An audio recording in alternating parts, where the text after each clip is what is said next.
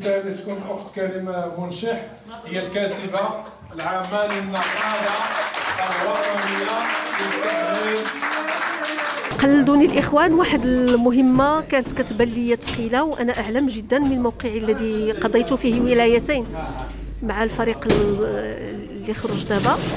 أعلم جدا أنها ثقيلة خصوصا بعد المرحلة الماضية اللي كانت فيها واحد الوزيرة آه، كانت سدات قنوات آه، آه، التواصل مرة وعلما بأن القضية ديال الجائحة ومطالب الموظفين هي كثيرة بزاف. الفريق اللي خرج قام بواحد العمل مهم جدا. لابد أننا نبنيو عليه ولكن كيبقى هو المعيار أو لا هو لو سوي. اللي خصنا على الأقل نكونوا بحاله على الأقل نديروا بحاله سينو أحسن. لأن كل شيء كيطمح أنه يكون أحسن.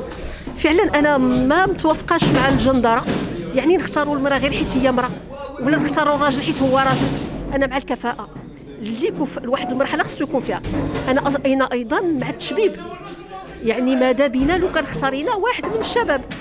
كنت كنقول باللي من هو أصلا تكون المقر ديالو هنايا في الرباط. علاش؟ باش يكون قرب من من مراكز المسؤولية. علاش؟ لأن أصلا النقابة باش تحل المشاكل ديال الموظفين المشاكل اللي ربما ما كتشوفهاش الإدارة ربما تكون أصلا خصها تحل هنايا في المركز. ولكن نزولا عند رغبة الإخوان كنطلب الله إنه يسهل عليا هذه المسؤولية ونكون في المستوى ديال الانتظارات. شكرا.